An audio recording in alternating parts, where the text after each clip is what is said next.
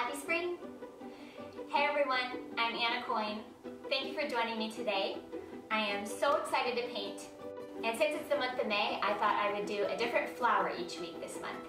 This week I'm going to do a fluid art kind of abstract rose based off of a painting I did previously and I did this flower with a string technique where the string was dipped in paint and kind of spiraled around and I really liked how it turned out. So I thought I would try this again with different colors just on a white background. Yeah, I'm excited to see how it will turn out. I think it'll be striking and really pretty. So I'm going to do this video kind of a step-by-step -step style from beginning to end. So if you want to paint along with me, great, you're welcome to do that. And if you just want to sit back and relax and watch, grab yourself a lemonade and let's get painting.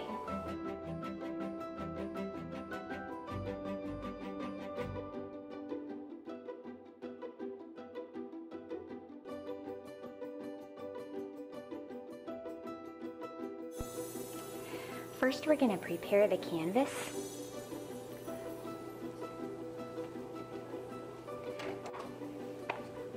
I always tape the backs of the canvas so that the runoff paint doesn't make it look messy.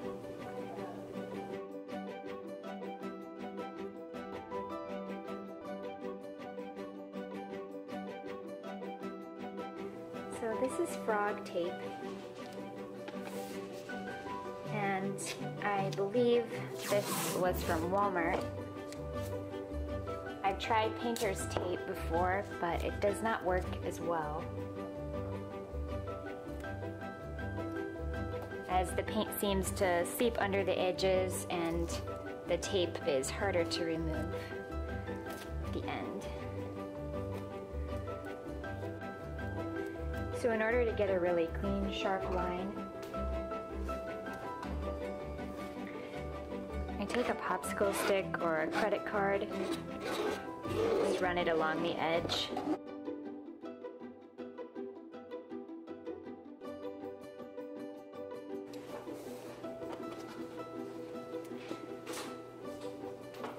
Next,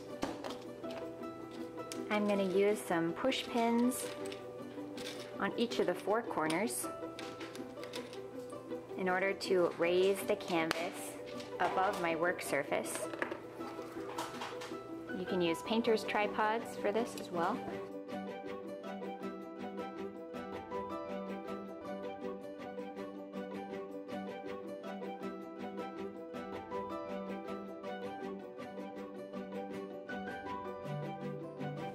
Okay, so our canvas is prepared.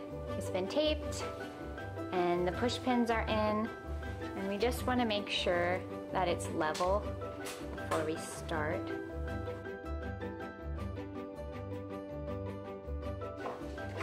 Okay, looks good.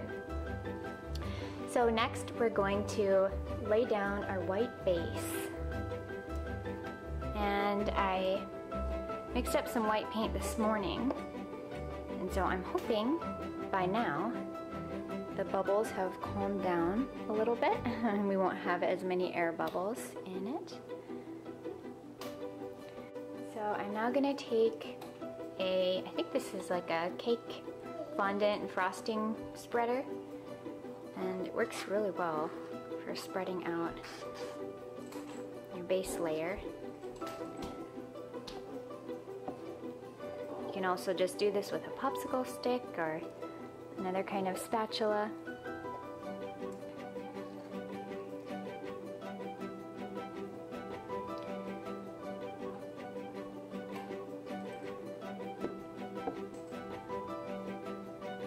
My paint is mixed with about one part paint, one part Floetrol,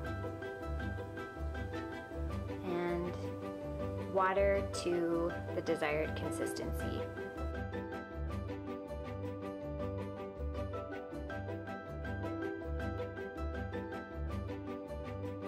Okay, so it's not perfectly smooth, but um, because the paint is so fluid, it should level out a little bit on its own. So next, I'm just taking this kitchen blowtorch and running it over the painting and this pops all the little air bubbles that's in the paint due to mixing the paint with the medium and water. So the first color I'm going to use is this sort of light rose gold tan, creamy tan, sandy color. I mixed some rose gold, some regular gold, some white. I just wanted to get kind of a creamy, shimmery, sandy color. So next I'm taking a string, which I've cut, oh, I don't know, it's probably a couple feet long. And I'm kind of nervous about this part. So everything we've done so far is basically prepping our painting. So this is the fun part when you actually get to put some color in the canvas.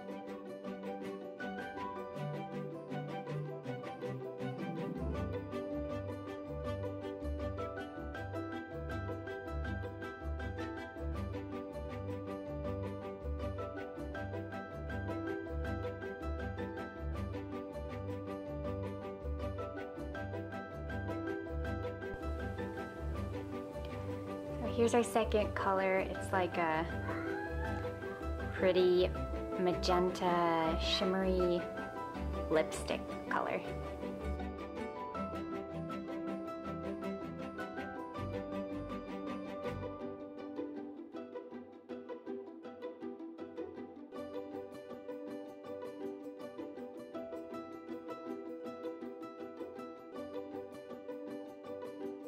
Okay, let's pull this one off.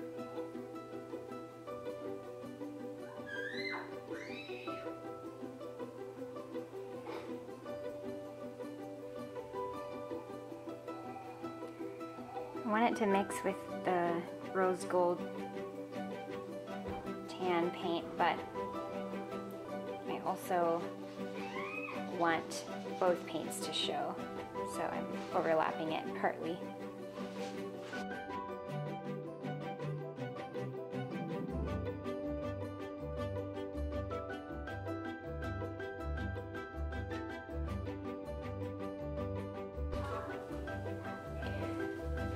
The third color we're gonna use is just gorgeous. It's like a deep fuchsia or bright magenta type of color.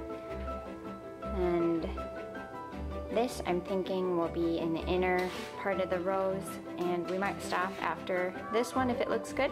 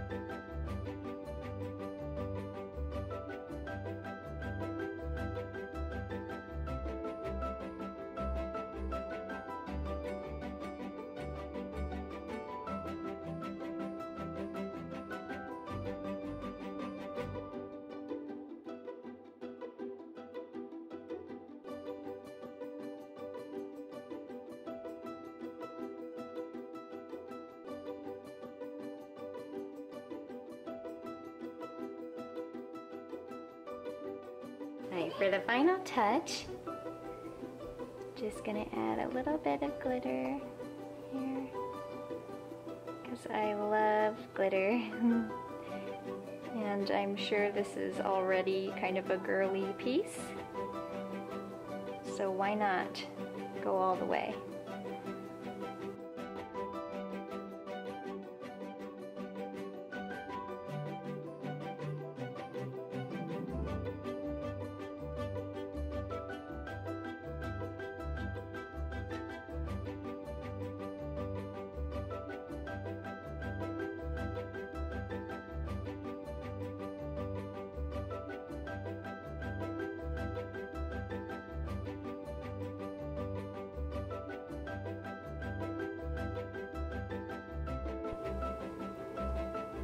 Here's the close-up.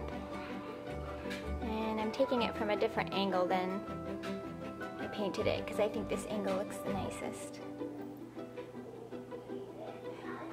Yeah, I love the colors and how they look together. The piece has a lot of depth with the layering. And it's just pretty and feminine. And I could just look into it for a long time. I'm really happy with it.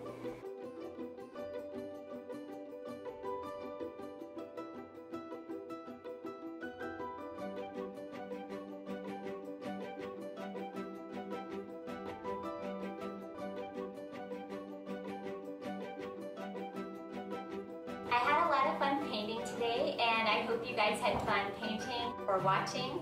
If you enjoyed this video, it helps me out a lot if you would give it a thumbs up and also feel free to leave your comments um, if you have any requests for future videos.